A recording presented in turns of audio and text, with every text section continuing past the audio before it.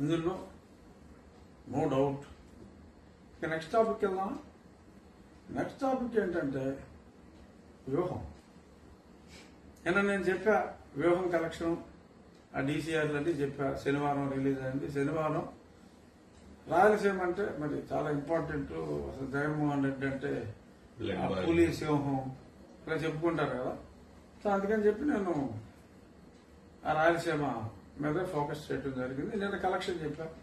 రెండు లక్షల తొంభై ఒక్క వెయ్యి షేర్ వచ్చింది. క్యూబ్ చార్జెస్ కట్టాకట్టుగా కవర్ అవ్వచ్చు. బట్ వాల్ పోస్టర్లు వేసిన పేపర్ అడ్వర్టైజ్మెంట్ వేసిన అన్ని బొక్కే మైదా ఖర్చు వాల్ పోస్టర్కి వేసిన మైదా ఖర్చు కూడా రాదు. పోస్టర్ ఖర్చులు అవుట్ మైదా వేసి అతికించాలి కదా. మైదా ఖర్చు కూడా రాదు. అది మొన్న. నార్మల్గా ఏదైనా సినిమా మీకు తెలియదు ఏముంది సండే కలెక్షన్ రిలీజ్ అవుతుంది. అంత బోగు సినిమా అయినా శనివారం కన్నా రిలీజ్ రోజు ఆదివారం రిలీజ్ అవుతుంది. ఆదివారం డౌన్ అయిపోతే దాన్ని ఏమంటారు? మొన్న. మొన్న రెండు తొంభై రెండు నుంచి నిన్న రెండు యాభై మీద కొన్ని రూపాయలకి పడిపోయింది. వీళ్ళు రాజుగారికి ఎలా వెళ్ళింది? ఆ డీసీఆర్ ఇక మిగిలిన థియేటర్లు అందరినీ ఏ ఎవరైనా ఎన్ని షోలు పని చాలా చోట్ల షోలు పల్లా షోలు పడాలంటే మినిమం హనుమండూరు ఉండాలంట. హనుమండూరు కూడా లేకపోతే ఇద్దరు వెళ్ళారు అనుకోండి డబ్బులు ఇచ్చేస్తారు రా బాబు అని చెప్పి పంపించేస్తారు. ఎనిమిది ఉండాలంట మినిమం. ఆరో ఎనిమిదో. అవ్వలేదు చాలా చోట్ల షోలే పడాల సో నాకైతే రిపోర్ట్ రాకుండా చాలా ట్రై చేశారు. Give me my phone I would not buy now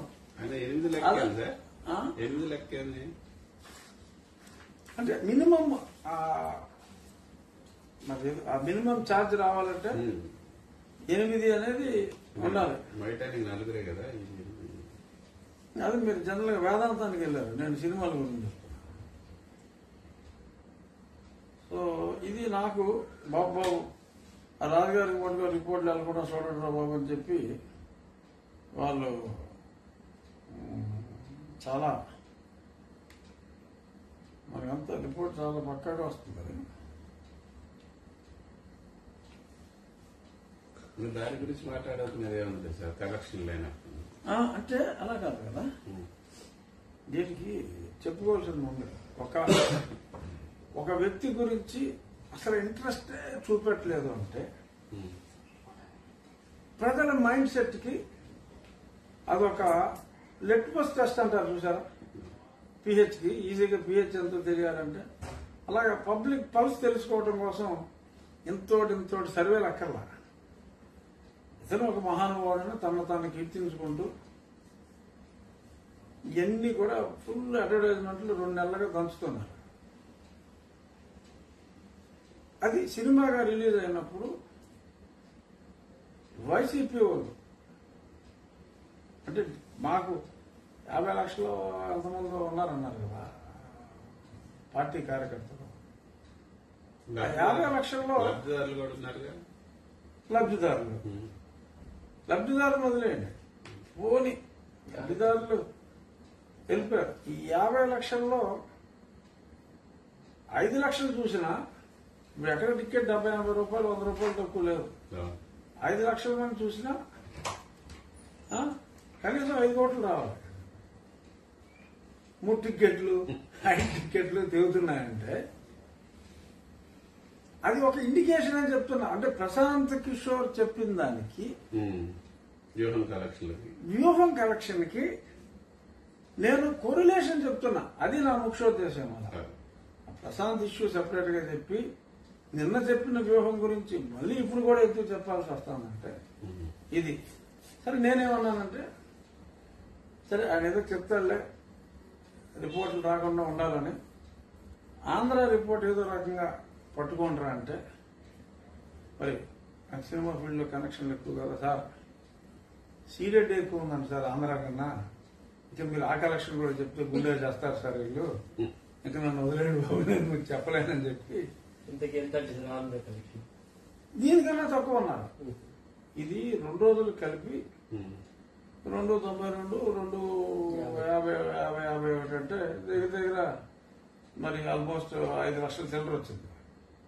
Andhra ఎంతకన్నా తక్కువ ఉన్నారు.